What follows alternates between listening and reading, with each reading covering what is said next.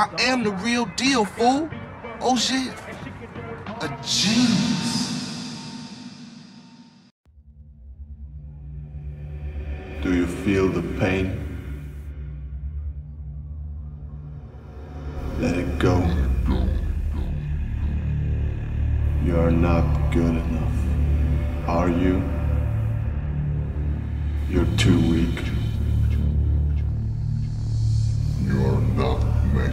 for this.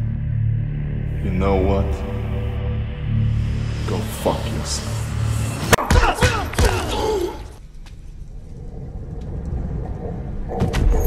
power come from Shane from a fighter? Is it because some guys get, try to hit it like Tim Bradley tries to hit as hard as he can, but the power don't show up the same way it would for you. Power comes from your legs and the way you switch your body. It's almost like a, a tennis player or you got a, a golf player. The bu- one that can hit the golf the, the furthest, way, got the best swing. You know, that's that's who's gonna hit the hardest. And usually you have a lot of guys that are more skinnier. They hit harder than the guys that are buff.